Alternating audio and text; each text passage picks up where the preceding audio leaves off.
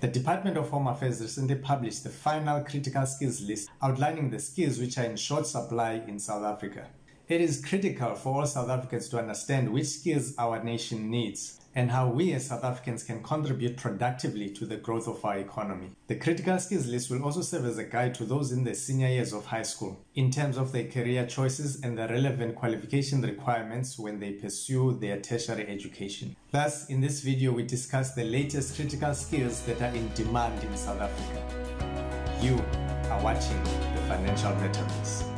More than 100 jobs from call center manager to physicist have been identified as scarce skills in South Africa, and foreigners can apply for a special work visa, provided that they have a solid offer of employment from a medium to large enterprise. I encourage you to watch this video to the end so you can receive the complete and updated list of all the critical skills that are in demand in South Africa right now. Before this latest updated list, the previous list was only updated in 2014, almost 8 years ago. This latest updated list will likely be welcomed with open arms by many corporations across South Africa, which may now fulfill the country's objective of luring foreign professionals that have the critical skills that are in demand in South Africa. This now means that foreign nationals may establish whether their profession is in demand in South Africa and may be eligible to commence a career path in the country provided they fulfill the X requirements. Furthermore, if you are a foreigner currently holding a critical skills work visa and your skill is no longer listed in this updated list, you may find yourself unable to renew your visa.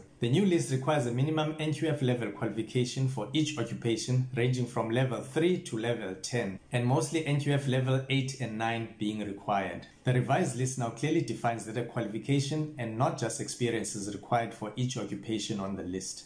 Now, if you have the required experience but lack the necessary qualifications, I would recommend that you have a look at the International University of Applied Sciences. They're one of the largest universities based in Germany and offer excellent programs with affordable tuition rates, particularly for students from Africa. They also offer a number of the critical skills qualifications that are in demand in South Africa as per the updated list. You can check out their website and request more information from them via the link in the description below.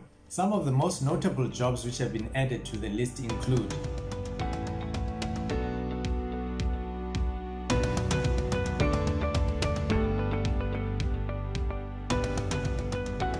As I promised earlier, you can download the complete updated list from the link in the description below. If you found value in this video, please like it and share it, particularly with those in the final years of high school or those parents who have children in the final years of high school. The skills list will be a valuable guide as they think about their career options in line with the skills that are in demand in South Africa. And if you'd like to be notified when I release another video like this one, then please subscribe and hit that notification bell. And lastly, look out for my next video on how to save for education in South Africa.